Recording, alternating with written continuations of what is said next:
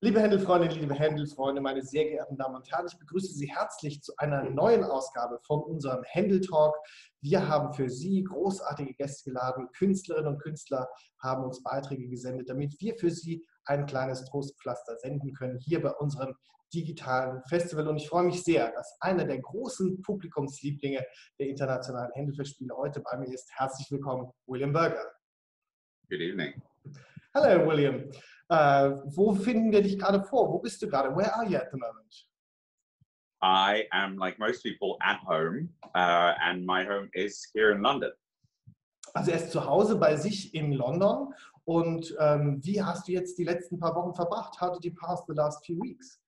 Uh, I think the quickest answer to that is um, very slowly, is how I pass the time, um, but not doing much. Mhm. Um, a lot of musicians, you know, have been making videos and being very productive. Uh, I'm afraid I've not been one of those. Um, uh, I kind of used the time to, you know, enjoy life at home. Uh, I've been, I had been on the on tour since November last year. Uh, I'd gone literally around the world for the first time in my life, and um, and we we came home on the 18th of March, and uh, from from South Africa actually, and shortly after that, lockdown was announced. Um, the most productive thing I've done in the two months is um, I've done all my taxes. Ah, So yes, that that's the biggest pain and my greatest achievement. So um, apart from that, cooking, reading, spending time at home. Yes. also seine Steuererklärung hat er fertig. Er hat äh, viel, ge äh, viel gekocht, äh, viel gelesen. Ansonsten hat er es sehr genossen, denn er ist einmal um die ganze Welt gereist seit November und hat es genießt es jetzt eben sehr, auch mal zu Hause zu sein, zur Ruhe zu kommen. Andere Kollegen haben viele Videos aufgenommen. Er war eigentlich ganz glücklich damit, einfach nur zu Hause zu sein. Und ähm, you've been a great star at the Handel Festival in Admeto, in uh, Imeneo, and with many concerts with uh, Lawrence Cummings, with Nicholas McGegan. Also warst hier bei den Festspielen mit Admeto, in Imeneo, mit vielen äh, Dirigenten. Ähm, was ist dir am meisten erinnerlich? Was, an was denkst du, wenn du an Göttingen denkst? What are you thinking about when you think about Göttingen? I, I yeah, I have to be careful not to cry when you ask me that question. Oh, Um, because it means an awful lot to me. It, it's in fact where I started my career 20 years ago uh, in 2001 with then artistic director Nicholas McGegan. And I was very fortunate enough to be to continue that relationship with the festival through Lawrence Cummings and yourself. Um, for me, it's always a happy place. It's it's sort of a combination of um, it, it feels like summer music camp to me. You know, the weather always seems to be great, even though I know sometimes those thunderstorms come in out of nowhere when you're middle of a dress rehearsal and you come outside and you haven't packed a coat and it's raining it down. But um, what I remember is sort of beautiful spring days and lots of bike rides and you know hard work, but dedicated and and invested and lovely colleagues. Always, always the best colleagues. I always know that I'll have a great, great time. Also er hat gesagt, er muss aufpassen, dass ihm nicht die Tränen kommen, weil er einfach so äh, emotional mit Göttingen verbunden ist. Er hat 2001 dort seine Karriere begonnen, damals noch unter Nicholas McKeegan, äh, war viele, viele Male hier und erinnert sich an viele schöne äh, Radtouren, an äh, viele schöne Freizeitaktivitäten, an fantastische Kolleginnen und Kollegen. Also einige seiner Lieblingskollegen sind äh, dort immer zusammengekommen. Und äh, also er vermisst es sehr und findet es natürlich sehr schade, dass er in diesem Jahr nicht da sein kann. Um, most of um, our audience remembers you, of course, for the big role in Admeto, big in many, in many senses, also in vielerlei Hinsicht. Äh, eine große Rolle war eben in Admeto, das erinnern sich viele noch dran. Wir haben es neulich im Kino gesehen, we saw it in the cinema only a few, uh, few weeks ago. Ähm, was verbindest du mit dieser Arbeit mit Doris Dürre und äh, mit Admeto? What, what do you think about of, of this work with Doris Dürre and Admeto?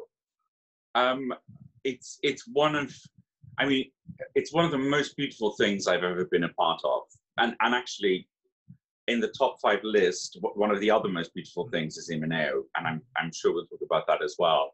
Um, Admeto, you know, again, uh, the memories about all of these things are very personal to me, uh, and and uh, it, if you if you want me to give you great, fantastical answers about mm. the work and the I those are sort of not always the things I remember. Um, I remember the costume, of course, is very memorable. Um, what I will share with with you and the audience is that there was there was very very serious, intense debate um, about whether the the sumo body suit needed to have anatomically correct nipples or not. this, this, this was a very important thing, apparently. Ähm, ich übersetze mal ganz kurz. er hat gerade gesagt, es gab, also Admetus wirklich eine der fantastischen Produktionen, die er je gemacht hat. Leider erinnert er sich mir nicht mehr an ganz viele Details, aber an ein Detail erinnert er sich. Er war ja an diesem großen äh, Fettkostüm, in diesem äh, ähm, äh, Sumo-Ringer-Kostüm. Und er erinnert sich an eine Anprobe, wo wirklich sehr ernsthaft und lange darüber diskutiert wurde, ob dieses äh, Kostüm denn auch äh, Brustwarzen braucht und wie man die da dran näht. Also er sagt, das wäre eigentlich eine lustige, lustige Situation gewesen. And of course, the way, the way to determine it was, you know, they made sort of a, a pair that was movable and then they they would move between scenes until until the costume designer decided what was the right place. Um, die waren wieder verwendbar, sie, haben, äh, sie wurden noch nicht fest angenäht, also bei jeder Probe waren die Brustwarzen irgendwo anders, bis der Kostümbildner gesagt hat, so jetzt sitzen sie an der richtigen Stelle.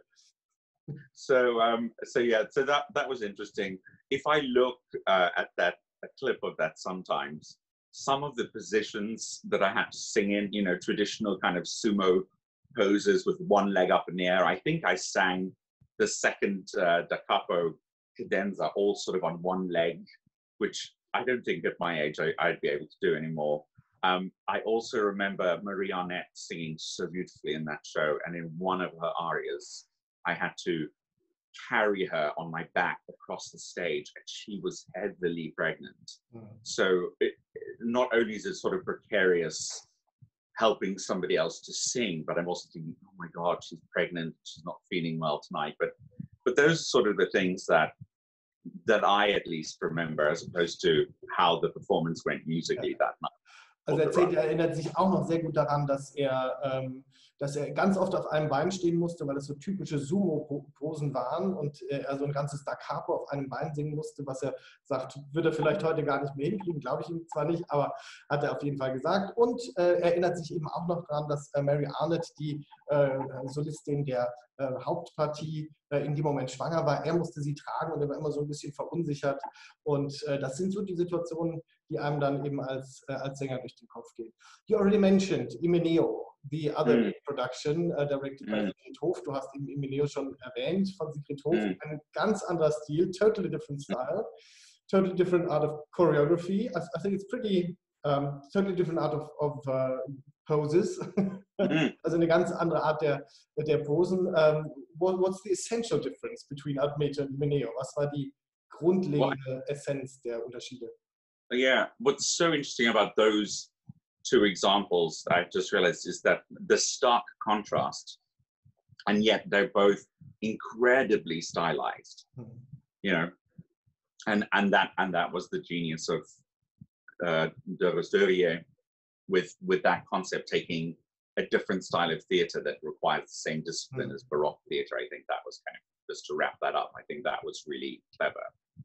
Um, Imeneo uh, I think you've absolutely hit the nail on the head with the word choreography. Mm. It, it was really le- like learning to dance and sing at the same time. And it was so specific. And I had done Baroque productions previously, two of them, mm. uh, with Catherine Turocy at Göttingen in, in the previous decade. Mm. So I thought, I know, I know how this goes. It will be fun. no, with Sigrid it's another, it's another level, and it's so specific. And and when you get it, it is the most rewarding thing. And I still, I, I don't often uh, listen to productions or look at videos of productions I've done, but I love looking at photographs Mhm. of that production because and showing them to people because they just look like oil paintings. They look like miniature oil paintings. Um, and sorry, of course, the, the the last thing is I mean my my dream as a child, as a teenager wanting to do opera was was to do it that way, all lit by candles, Hmm. you know, in a hall the size that it would have been Hmm. in that century. And I mean, it, it was an incredible thrill. I love that. Also er sagt, eigentlich hat er sich als Kind schon gewünscht, in so einer Produktion zu singen wie Imeneo mit historischen Kostümen, mit lauter Kerzen äh, im Hintergrund. Er kann sich daran erinnern, dass es eine sehr durchstilisierte Choreografie war. Also man musste es wirklich wie ein Tanz lernen, über sechs Wochen. Und Sigrid Tuft einfach, die da sehr mit dem Meißel jede Bewegung nochmal neu äh, ähm, herausgeschlagen hat. Und äh, es ist eben eine, eine Produktion, die auch sehr gerne noch Freunden und Bekannten zeigt, weil sie ihm einfach sehr zu Herzen gegangen ist und sehr nah gegangen ist. Ähm, you had mentioned as a child, uh, your Mhm. childhood was in South Africa. It's a totally different uh, cultural setting as you. Uh, Du bist ja in Yes. Südafrika groß geworden, in eine ganz andere Kultur. Ähm, wie, was glaubst du, wie würden die, äh, deine Freunde, deine Familie, deine Bekannten in Südafrika auf Imeneo reagieren? What do you think? How would people react in South Africa to a production like uh, I, I think it would blow their minds. Hmm. I think it would just, I mean, it certainly did for all the performers on stage the first time we stepped on that stage and, and, and the heat of the candles, the visceral kind of experience of it. Um, but I, mean, South Africans, there is no reference for it. I mean, apart from what we read in books, we don't even have the correct buildings. You know, the theaters South Africa were all built in the in the 50s, 60s, and 70s. They were massive opera houses. Um, so for us, it it would it would look like a version of sort of you know puppet theater, for sort of or something perfect and beautiful. But I don't know what it was that that captured my memory so about this uh, when I started discovering more about opera. Also er sagt, es wäre, also er ist sicher, dass das äh, Publikum vollkommen begeistert wäre in Südafrika. Es gibt allerdings nicht viele Referenzpunkte. Die Theater in Südafrika selber stammen alle aus den 50er, 60er, 70er Jahren. Es gibt also keine historischen Theater. Es gibt auch in dem Sinne keine historische Aufführungspraxis äh, in der Szene, also mit Kerzen. Äh, aber er erinnert sich auch eben vor allem noch an die Hitze auf der Bühne, die von diesen, von diesen ganzen Kerzen ausgegangen ist. Wie bist du denn dann äh, nach Europa gekommen? How did you uh, come to Europe after uh, your childhood in South Africa? Oh well, as a, as a precursor to that, I was a member of a boys' choir. Uh, not the mod, not the European model, shall we say? It not uh, connected to a church or a cathedral, uh, but rather like the American boy choir, a, a performance concert choir. So I was at boarding school, and we would, you know, get up at quarter to six in the morning. At 6 a.m., I was practicing piano. Uh, there was two hours of music practice, two hours of choir practice every day. Um, and then after two two months of preparation, we would then go on a tour of a part of the country because South Africa is quite a large, large country. Um, so I had that discipline to start with. Also er war in einem Knabenchor, ist äh, dort äh, groß geworden beim Internat, ist jeden Tag um Viertel vor sechs aufgestanden, musste morgens um sechs schon Klavier üben, äh, hat dann jeden Tag äh, zwei Stunden Chorprobe gehabt und dann nach zwei Monaten Vorbereitung gab es immer eine große Konzerttournee durch einen Teil des Landes. Es ist ja ein sehr großes Land, das schafft man gar nicht, äh, das alles äh, so zu bereisen. And how did it go on? Well, so um, I, I I think the answer to how how did it go on from there is just um, a combination of tenacity and the arrogance of youth. Maybe I don't I don't know. I just you know I thought this is what I want to do. Arroganz war auch noch mit dabei. But he became a fantastic singer, so there's a talent behind as well. Thank you. Uh, yeah, I just I knew I needed I needed a, a way. Uh, I I actually had two options. The one was to come to the UK um, uh, to study singing. Uh, my my other little secret was uh, at the time as, as a as a teenager in South Africa, I was also um, studying conducting with a conductor over there. Um, so the other offer was um, to work with uh, Donald Runnicles in San Francisco when I at the age of 18.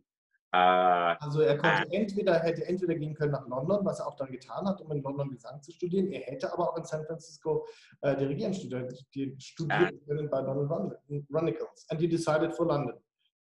I did. I, I did not decide. My parents decided. Ah, I, Eltern haben es entschieden. yeah. Uh, yeah. No, they made the decision, uh, and, and you know, it's it's one of those sliding doors moment. It could have gone either way. I don't regret either way that it's gone, but uh, that's how I ended up in London studying at Royal Academy. I mean, as a conductor, you can still start a conducting career in 20 or 30 years because uh, well, man kann immer noch dirigieren. that this was the advice that everybody gave me, but you know now there are these conductors that are starting very, very, very young. Yeah. Um, but um, but that's that's how I ended up in in uh, in Europe, and then I went to uh, a summer school in Japan uh, called the uh, Sapporo, uh, the Pacific Music Festival. It's called the Tanglewood of the East, set mm-hmm. up by Leonard Bernstein. And Maestro McGegan was running the Singers Baroque program. I didn't know about Baroque music. I just wanted to go to Japan, really. I was 18. also erzählt gerade, er war bei einer Sommer, bei einem Sommerkurs, äh, der angeboten wurde in Sapporo in Japan und er wollte unbedingt nach Japan und war eigentlich völlig egal, was die Inhalte waren. Und dort hat er aber dann doch zufällig Nicholas McGeegan getroffen. Yeah. And I mean, it was, you know, it was a free trip. It, it was, it was a month or six weeks in Japan. It was like all experiences in Japan, kind of somewhat surreal and fantastic. And um, a good preparation for Meta. And and yeah, and and uh, yeah, true. true. Although I wasn't that observant, I must. Um, all been faked. It's all been planned for yeah. but yeah, I think it was about a year after that that a phone call came through uh, from the Göttingen Handelfest Spiele, and I, I thought it was a joke. I mean, I really didn't thinking I thought somebody was playing a trick on me. But that's, I mean, that's kind of how the whole story started and how integral Göttingen is to my life and career as a singer. Und er hat ihm erzählt, dass ähm, er einen Anruf bekam, ein Jahr nach diesem Sommerkurs äh, von Göttingen und dachte eigentlich erst, es ist ein Telefonstreich und das ist überhaupt nicht ernst gemeint. Hat es eigentlich nicht ernst genommen, aber das war der Anfang einer langen Geschichte. Ähm, as you said, you started with Nicholas McGegan, but you also know Lawrence Cummings. Um, how, how, would you describe the two, or where the differences, where where is common ground when we think about those two? Wo gibt es Gemeinsamkeiten und Unterschiede zwischen Lawrence Cummings und Nicholas McGegan? Um, let's start with common ground because I haven't really thought about differences. Uh, I think the quality that both those people possess that I value the most um, as a as a singer and as a performer, but as a working musician is the joy of the music. And you know, you and I both know that those schedules at at the festival, you know, if you're in more than one thing, hmm. you're doing the opening night the night before, and then there's a great party afterwards, and then sometimes there's a 10 a.m. rehearsal the next morning for an oratorio that no one's yet looked at, that's being performed three days later, and everybody's tired and you know wanted an extra hour in bed. And both those people can lift a room like just grab your attention and make you realize why it is that you're there hmm. that you, you you absolutely love it. I've, I've had this experience time and time again where i sit there in the morning sort of going oh god i don't I, I don't think i know. And then you know the downbeat goes and the orchestra starts playing and that fantastic orchestra and and then you know it's all go and it's a joy it's a real it's it's it's never difficult working with either of those people um, zu den Gemeinsamkeiten, just let me translate quickly. Mm. Ähm, zu den Gemeinsamkeiten, also er hat gesagt, ist, was beide gemeinsam haben, ist diese große Freude am Arbeiten. Beide schaffen es wirklich, äh, die Menschen zu inspirieren. Und wenn es nach einer durchzechten Nacht ist, nach einer Premierenparty, bei einer 10 Uhr Frühprobe, wo sich alle äh, überlegen, warum tun sie sich das eigentlich an, diese intensiven Probenpläne bei den Festspielen, wo es wirklich kaum Pause gibt. Äh, und dann schaffen es beide eben, die Inspiration so zu übertragen, dass alle mit dabei sind und alle in der Musik sind. Yeah. So uh, I'm trying to, as you were talking, I'm trying to think of differences. For me, it's it's hard to see them because for me, you know, I, I've been employed by both. I still work with both conductors. Um, so the way that I sing is obviously uh, something they both like. Hmm. They're both singer orientated conductors. Uh, they're singers who have like the music to be led by the vocal line or the articulation in the orchestra to be led by the vocal text. Um, and neither of them approach Baroque music as as a museum piece, you know, as something that sits in a little glass box mm. and it should just be so-so and just perfect. And it, it needs to be alive and it needs to be saying something.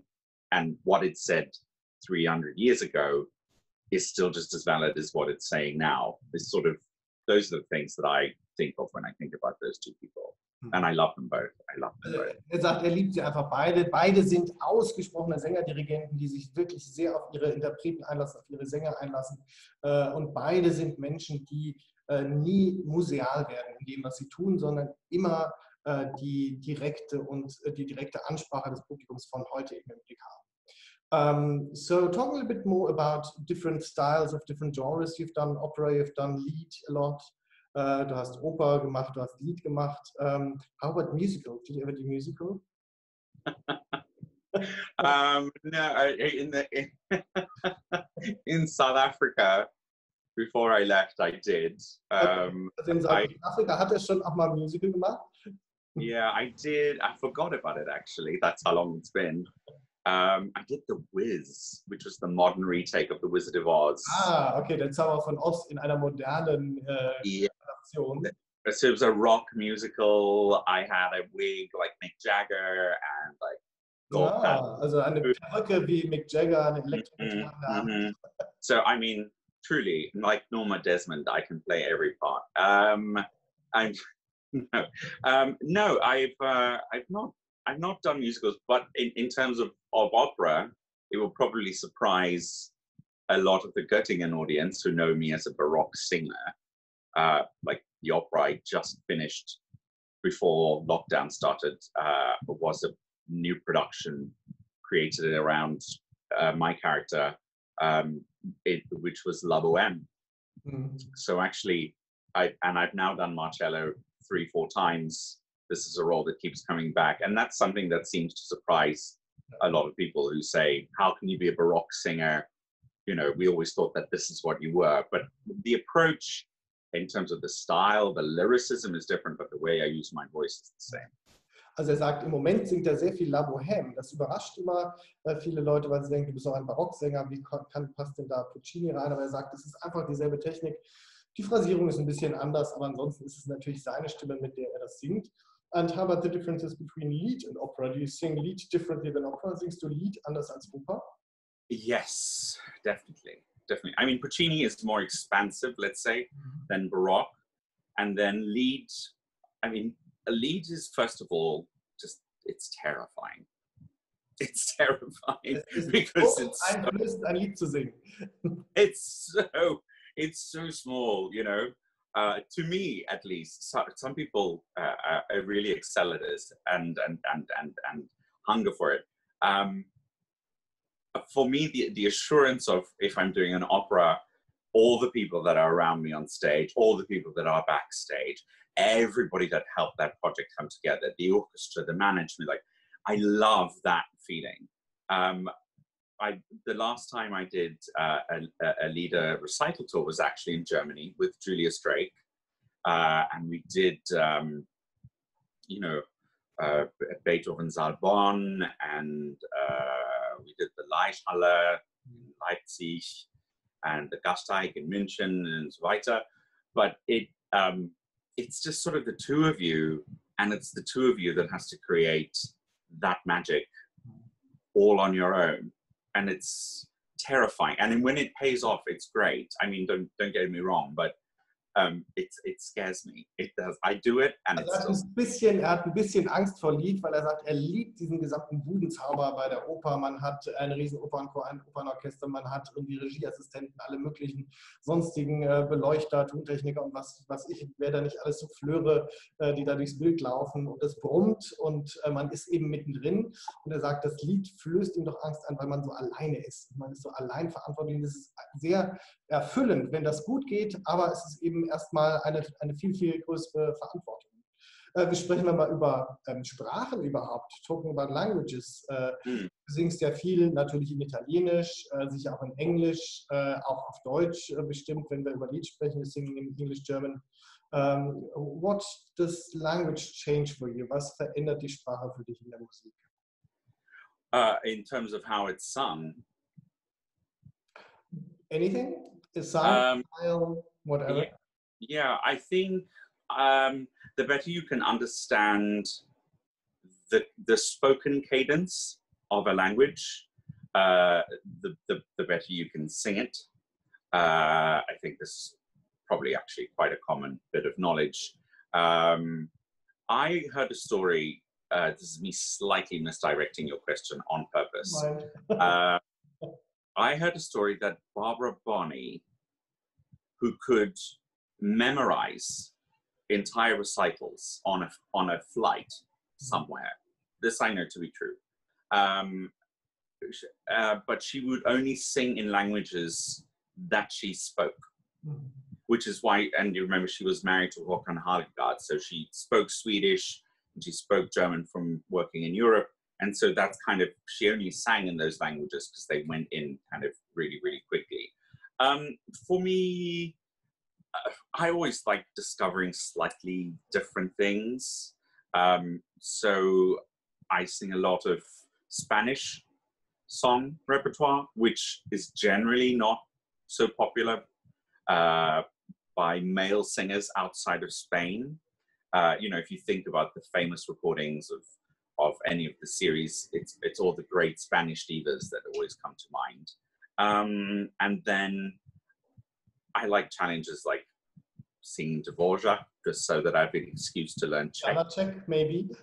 yeah, so Czech Czech turned out to be not so hard, and that was quite fun. Uh, Russian is really difficult, I found.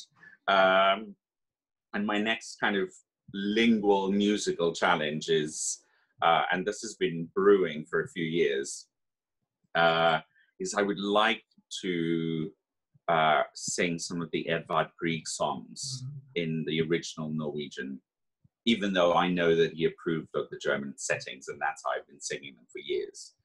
I think that's one I'd quite like to try. Also er sagt, es ist er liebt die Herausforderung, tatsächlich auch neue Sprachen zu lernen, neues Repertoire zu entdecken. Vor allem spanische Lieder hat er gerade äh, arbeitet, möchte jetzt Grieg gerne auch in der Originalsprache singen. Er kennt allerdings auch andere Sänger wie Barbara Bonney zum Beispiel, die nur wirklich äh, in den Sprachen singen, die sie auch fließend sprechen. Und äh, er sagt, es ist natürlich wichtig, den Inhalt zu kennen, aber es ist trotzdem schöne Herausforderungen zu haben mit Russisch, mit Tschechisch äh, und, äh, und äh, solchen Sprachen. What's the challenge to sing Handel then? Was ist die Herausforderung bei Handel? Oh, I don't know. I've been doing it so long. I can't. I can't analyze it anymore. What's the rewarding thing? Was ist das the, the rewarding thing is Handel is um, Handel is like the touchstone for me. You know, Handel is coming home every time.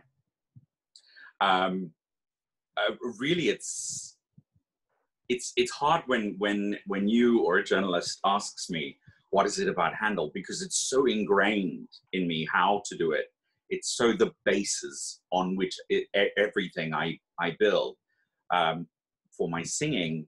You know, if I'm having a, a day where I'm warming up even for Puccini and it's not feeling quite in the right place, then I'll sing a Handel aria, something that I know that's really in my body.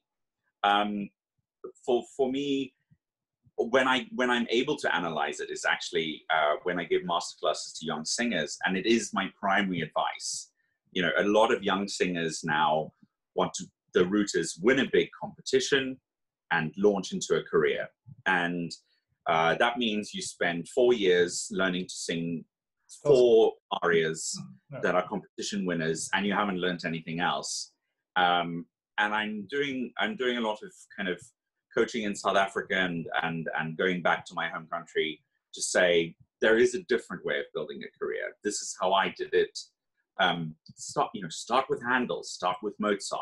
It's kind of like vocal balm. It just it's it's safe, it's rewarding, and it's then when I'm doing masterclasses that I those little moments kind of quickly pop into my mind, and then when you put me on the spot like this, I dry up. I'm afraid. But um, but Handel, what are what are the challenges? The same as anything. I mean, it's not music that is um, at all just because it's older inferior. I mean, Handel had a better understanding of um, theatrical plot devices and how to surprise and emotionally wrench an audience, you know, out of a moment um, than than anybody who's writing a musical today. Almost, you know, he's he really understands theater very well. I think. Also William sagt, dass äh, die Herausforderung ist, dass es einfach anspruchsvolle Musik ist. Also Händel kannte äh, die dramatischen Momente im Stück, er hat sie gut vertont, hatte das gut im Griff und man muss es einfach ernst nehmen. Es ist nicht veraltete Musik, sondern es war schon damals sehr herausfordernd. Und äh, was eben was äh, er immer zurückkriegt aus der Musik. Er sagt, dass ähm, Händel auch sein, ein, fast wie eine Heimkehr ist. Also ist, er hat es so oft gemacht, es ist so in seinem Körper drin, dass es für ihn immer eine Rückkehr ist zu Händel. Und er empfiehlt auch jungen Menschen, äh, wenn am Beginn ihrer Karriere, wenn er unterrichtet, dass sie sich auf Händel konzentrieren, auf Mozart. Also man muss nicht immer diese vier äh, Star-Arien singen, die man jetzt äh, auf äh, Wettbewerben singt, sondern es gibt auch eine andere Art Karriere zu machen, die vielleicht dann eben auch gesünder ist für den Körper, für die Stimme. Um, and um, is there any, any, you say it's a touchstone Handel, the Handel repertoire is the touchstone, but is there any piece of music you you're always coming back to? Is that Handel or is that some, some other bit of music? Is there one aria you sing to warm up every day or you're, you're celebrating some events for you? I don't know. Is there some emotional bit? No, no, I'm not that kind of. There isn't. There isn't ever. I I um I get bored very easily. so for me, it's more about what's the next thing. What's the next thing? And surprisingly, uh, again, I'm twisting your question. I apologize. Um, it's about the Handel roles I haven't sung hmm. that I still like.